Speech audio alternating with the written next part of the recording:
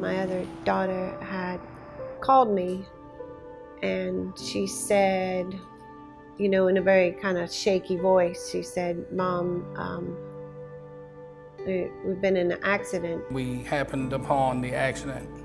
When we pulled up, they were actually pulling Trey out of the car. First thing we know, Trey, he was actually seizing.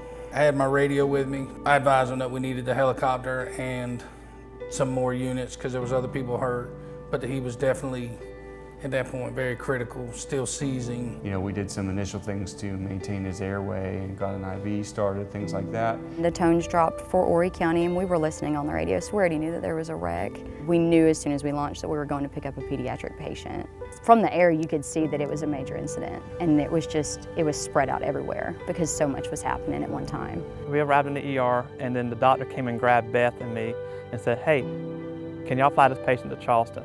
Trey looked bad. He really did. Um, just kind of got to your heart, you know. People, family was crying. The doctors were worried, you know, and we knew that time was a factor on this.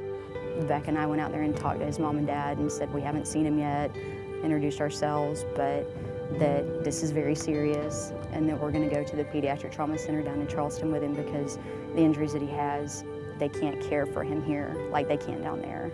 He's obviously had a, a severe head injury. He had swelling, you could tell uh, severe bruising. He had a poor respiratory rate, which led to a lot of other complications with the head injury. Uh, it was a domino effect. We weren't sure what was going to happen. This might be the last time they ever got to see him. When we left him in uh, MUSC, I didn't think there was more likelihood that he was going to be alive. So I actually saw Trey two days after this happened. He was just, he just looked like he wanted to die. And I just felt horrible. And after about 10 days or so, they started telling us he had a 3% chance of regaining consciousness. He was in a coma like 58 days, and then he woke up.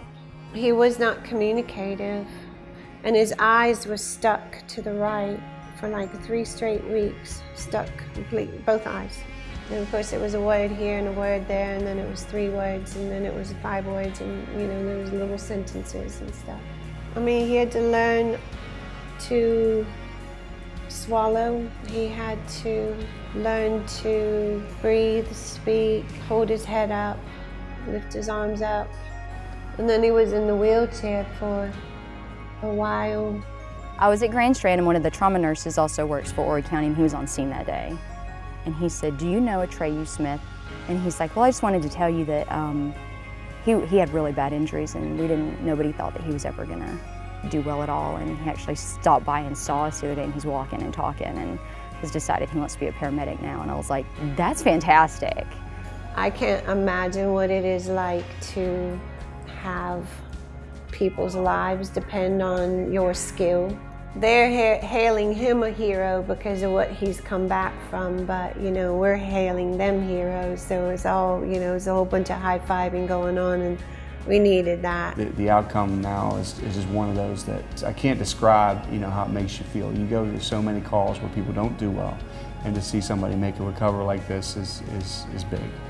It's not an individual accomplishment or the fire department, it's it's everybody. It's the EMS service, it's the helicopter, it's the hospital, it's where they send them for treatment, where they send them for rehab. So many things have to come together for that to happen.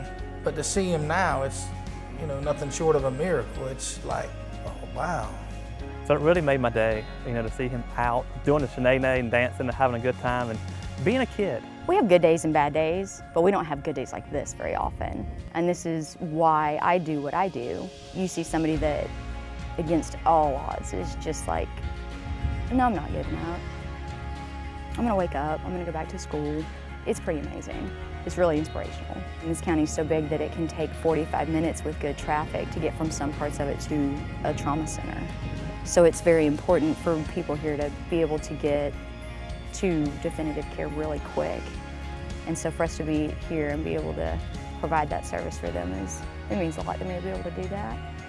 I mean, I owe them so much, so for them to be so happy to meet Trey and see Trey is, I mean, that's the least I could do, I would do so much more, you know, if I could. I'll do anything to help them realize how important they are, you know? Told Beth she was my hero